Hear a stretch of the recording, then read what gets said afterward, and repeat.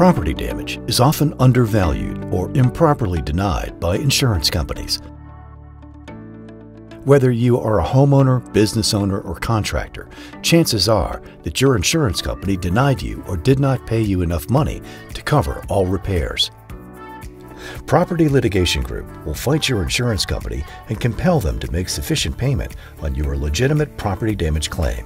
You pay nothing up front, and in the majority of cases, your insurance company is responsible for paying our attorney's fees.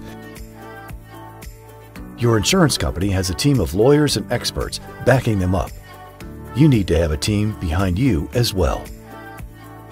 To learn more about Property Litigation Group, call 786 703 8810 or visit plglawyersfl.com.